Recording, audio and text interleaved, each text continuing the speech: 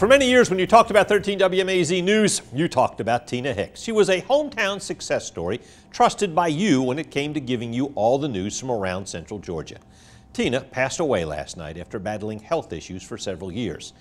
In 2019, I had the opportunity to sit down with Tina and talk about her career and about the community she loved. And good evening, everyone. Thanks for joining us. Tina Hicks' path to the anchor desk wasn't necessarily a straight line. First, I wanted to be in the Air Force, to be a pilot, a woman pilot. Then I wanted to be a nurse. Then I wanted to be an anchor. Her road to the television spotlight was actually helped along by an article of women's clothing. This guy was um, DJ. And he got me to do radio spots. And I remember the one I did was for pantyhose. And her voice on the radio caught the ear of the station's general manager. He called and asked, Who was that voice we heard? And they told him it was Tina.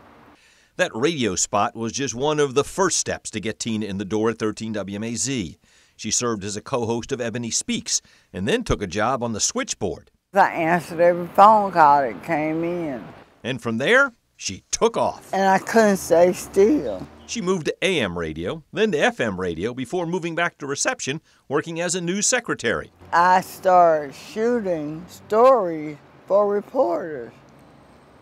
I taught myself how to shoot. Shortly after, she auditioned for an anchor position. I was scared to death. After overcoming some early job jitters, Tina quickly established herself as a reliable and caring voice for the community. The stories that we did, the stories that help people, I like those. We're at Focal Point Women, and beside me is a quilt with the names of women. Those stories included Tina's Friend for Life series, urging women to do self breast exams and sign up for mammograms. Here's how it works. Each woman chooses a friend, calls her on the 13th day of each month, and reminds her to do her self breast exam. One lady I met, and she said, She saved my life. And I said, How?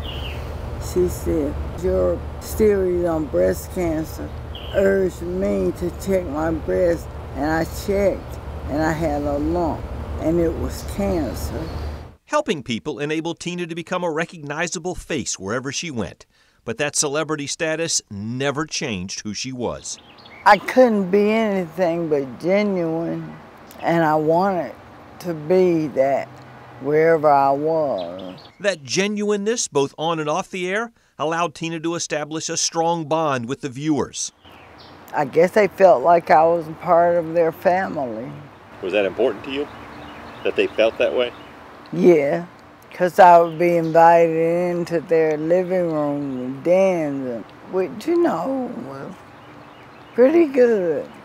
As for how Tina would like Central Georgians to remember her? As a hard worker, somebody who added to the community, and a good worker for charity. Pretty good life right there. Here's how I will remember Tina as an articulate and authoritative and reassuring voice for thousands of Central Georgians every night. I will remember her as a kind, caring, and compassionate person who respected other people, even when that respect was not always reciprocated. I will remember Tina as a mentor to many people. I would rarely walk by her office and not find someone sitting inside seeking her counsel on everything from work to relationships to family matters. I will remember her as a gifted anchor, and I would always marvel at how she could take words printed on a page and turn them into thoughts and feelings and emotions that made people care about and trust what she was saying. I will remember Tina as a proud person, proud of her family and her children, Katina and Kevin, proud of where she grew up in South Macon, and proud of her role in the community, where she provided a bright light for others to follow.